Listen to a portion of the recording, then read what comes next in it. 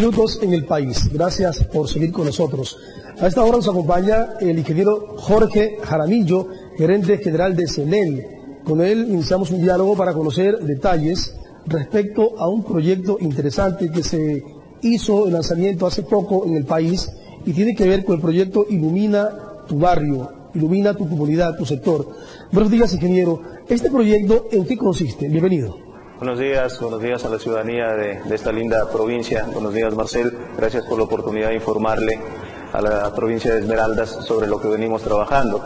El sector eléctrico, al igual que todos los sectores en el país, fruto del trabajo, del esfuerzo, del liderazgo del gobierno de la Revolución Ciudadana, ha venido realizando tareas importantísimas. Hemos tenido que no solamente construir una nueva casa en el sector eléctrico, hemos tenido que cambiar realidades. Recordemos lo que sucedía por allá por el 2007, cuando la empresa eléctrica Esmeraldas recaudaba un total de 15 millones de dólares, facturaba 23 millones de dólares con un indicador de recaudación del 65%.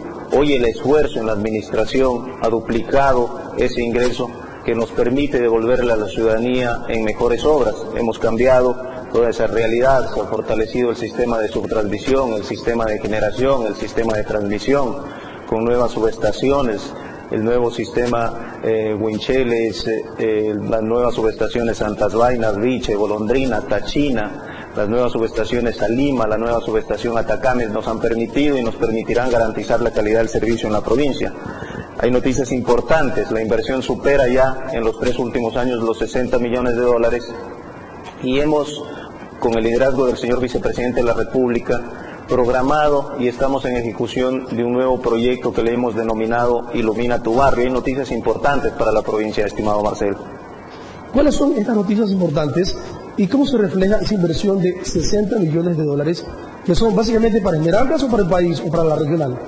No, solamente para Esmeraldas. En la provincia estamos con una inversión que supera los 61 millones de dólares. En este programa eh, que hemos mencionado, Ilumina tu barrio, estamos con una inversión aproximada de 50 millones de dólares. El programa empezó ya el año pasado, no es una planificación, es una realidad.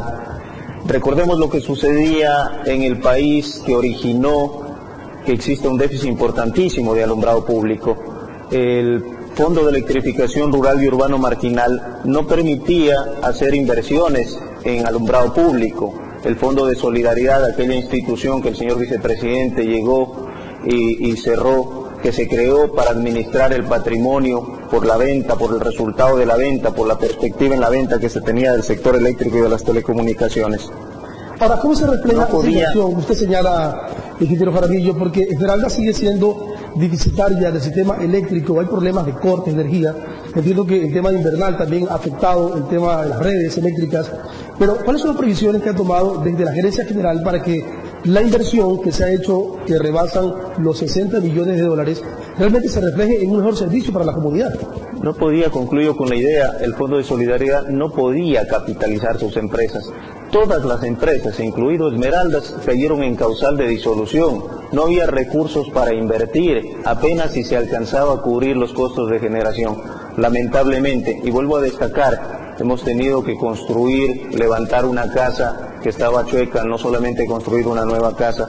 Hoy por hoy estamos trabajando ya en el nuevo anillo en el sistema de 69 mil voltios con eh, el, desarrollo de Propicia, Santas Vainas, Tachina, Wincheles, Propicia, que esto nos va a permitir operar en anillo y garantizar calidad de servicio. Los eventos de interrupciones de servicio obedecen lamentablemente a la situación invernal, a la situación eh, que hemos sufrido en este temporal bastante fuerte. Tuvimos serios problemas que la prensa fue testigo en la subestación Atacames, en la que prevalece la seguridad personal frente a la calidad del servicio. Nosotros estamos en la obligación de garantizar esa seguridad personal a la ciudadanía y por ende tomamos decisiones a veces duras de interrumpir el servicio puesto que los niveles del agua al que llegan ya a, parámetros, eh, eh, a los bornes del sistema energizado, pues nos hacen correr riesgos que la política, vuelvo a repetir, es garantizar la seguridad de la ciudadanía frente a la calidad del servicio. Lamentablemente,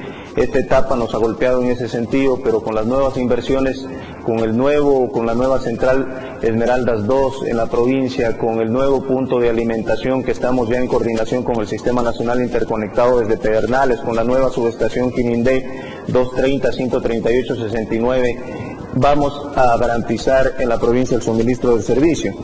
Eh, vuelvo a repetir todo aquello, eh, todos aquellos eh, aspectos normativos derivaron en un déficit importantísimo en alumbrado público, así que hemos diseñado un programa, el señor vicepresidente, el año pasado me decía Jorge, ¿por qué hay tanto, tanta necesidad de alumbrado público en, los sectores rurales? Y yo le comentaba estos aspectos que el Fondo de Electrificación Rural y Urbano Marginal, vuelvo a repetir, no permitía hacer inversiones en alumbrado público en las redes de, en estos sectores ampliamos mucho la cobertura en el país, llegamos a muchos sectores, a muchas comunidades, a nuevas parroquias, a nuevos barrios. Sin embargo, estas nuevas parroquias, estos nuevos barrios urbanos marginales no quedaban con alumbrado público.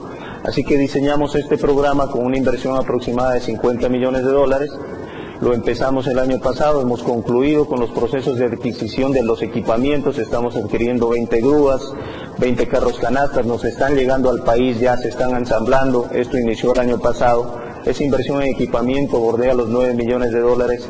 Hemos concluido los procesos de adquisición de las lámparas de sodio alta presión eficientes, 100 vatios, 150, 250, 400 para, para, para zonas importantes hemos ejecutado tan solo en Esmeraldas alrededor de 70 kilómetros de redes de alumbrado público. Creo que el esfuerzo, el avance, la gestión, el liderazgo de la Corporación Nacional de Electricidad, del ministro de Electricidad y Energía Renovable, del ministro coordinador, sobre todo del señor vicepresidente y presidente de la República en el sector eléctrico han hecho que este sector sea un puntal importantísimo de desarrollo para el país. Ahora bien, ustedes están haciendo inversiones importantes en materia de energía eléctrica en el país. Pero Esmeraldas tiene al menos 180 barrios que requieren también ser atendidos. ¿De qué manera desde Senel Esmeraldas se está planificando a fin de priorizar la inversión, toda vez que ustedes han dicho que están invirtiendo más de 50 millones de dólares en materia de iluminar sectores importantes? Recordemos, ingeniero, que producto de la falta del alumbrado público también ha sido propicio mencionar el tema delincuencial. Entonces, ¿Cuál es el compromiso que hay de seguir frente a temas como estos? Bueno, eh, la planificación está, estamos en marcha el programa, el programa busca instalar aproximadamente 122 mil luminarias, vuelvo a repetir, con una inversión de 50 millones de dólares. Eh, nuestra presencia acá en la provincia procura eh, definir acciones y coordinar acciones con las juntas parroquiales, con los alcaldes, con los líderes barriales, con los líderes de la comunidad para atender esas necesidades. Obviamente en un orden de priorización, porque no podemos hacer todo al mismo tiempo.